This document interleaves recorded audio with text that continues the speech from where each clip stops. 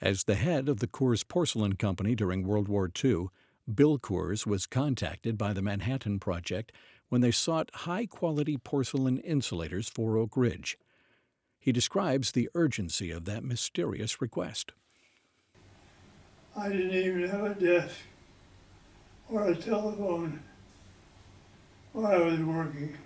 Reception found me at work on an said there's a phone call for you. They won't speak to anybody else. So I followed her into the office, got on the phone, a voice introduced himself as Rick Condit, working for the Lawrence Radiation Laboratory. He said, we need insulators. I'll send you a drawing.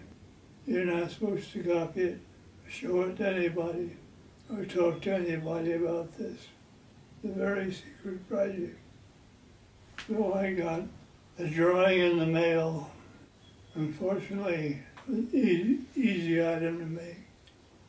All the main insulator companies, such as General Electric and Westinghouse, all quoted them in terms of months delivery. And I had them on the way in, in five days.